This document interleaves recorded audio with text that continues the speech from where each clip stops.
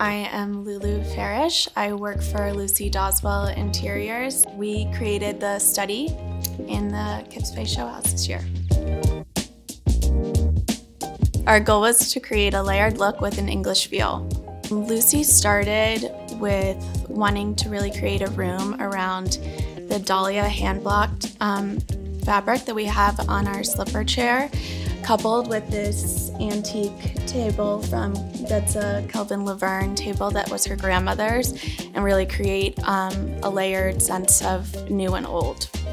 We decided to create a furniture piece with the stone just to add some weight to one of our pieces. A lot of our pieces are antique and are open-legged furniture pieces and this provided a way to have a more contemporary material in the room.